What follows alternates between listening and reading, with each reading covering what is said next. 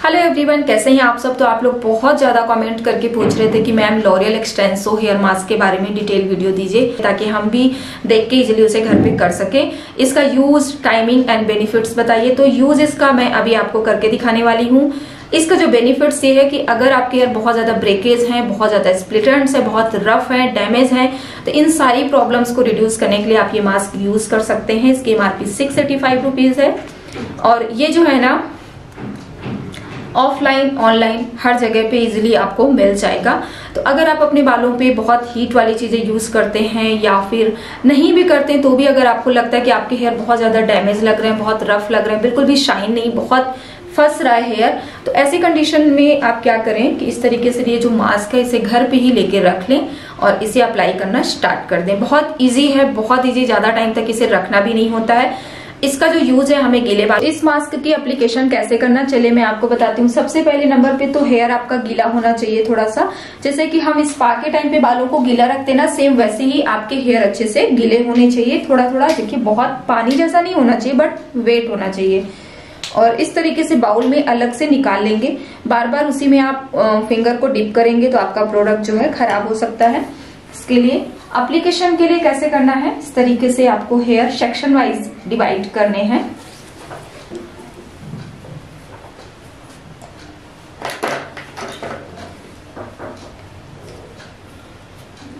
Okay और पतले पतले इसको भी हम डिवाइड करेंगे। पतले पतले लेयर्स में ऐसा लेंगे।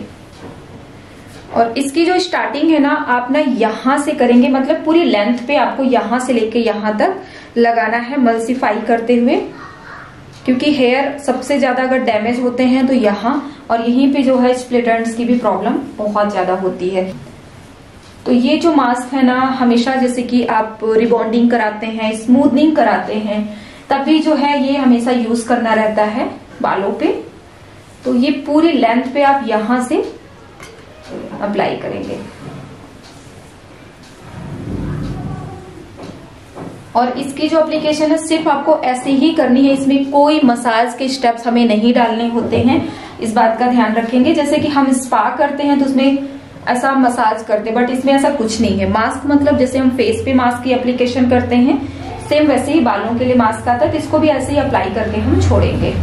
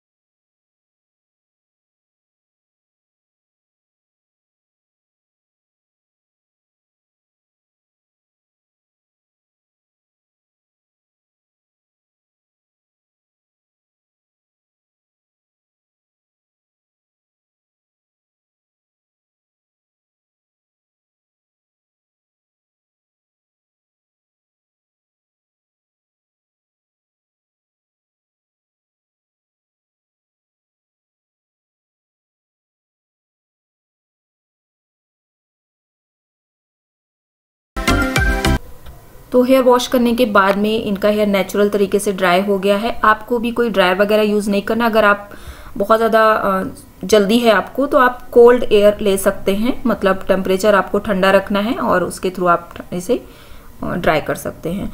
और मास्क जो है अप्लाई करने का टाइमिंग सिर्फ़ और सिर्फ़ फाइव मिनट आपको रखना है। इसे बहुत ज़्यादा टाइम तक के लिए नहीं रखना होता है। हेयर अगर आपका बहुत ज़्यादा डैमेज है, बहुत रफ है तो आप इसे मंथ में दो बार, अगर आपके हेयर की कंडीशन थोड़ी सी ठीक है तो आप इसे मंथ में एक बार यूज़ करेंगे। ये देखिए। सो गाइज़ कैसा लगा आज का वीडियो कमेंट के थ्रू आप लोग ज़रूर बताना। और अगर आप लोग यही वीडियो शेल्फ में देखना चाहते हैं तो आप मेरे सेकंड चैनल पे चेकआउट ज़रूर कीजिएगा। क्योंकि सेल्फ में किसे, इसे किस तरीके से अप्लाई करना है, उसका वीडियो मैं आपको बहुत ही जल्दी देने वाली हूँ संगीता लाइफ स्टाइल पे तो वहाँ पर ज़रूर देखिएगा। चलिए, कल मिलती हूँ एक और नई वीडियो के साथ में। तब तक के लिए बाय थैंक यू वीडियो को ढेर सारा लाइक एंड शेयर ज़रूर कीजिएगा।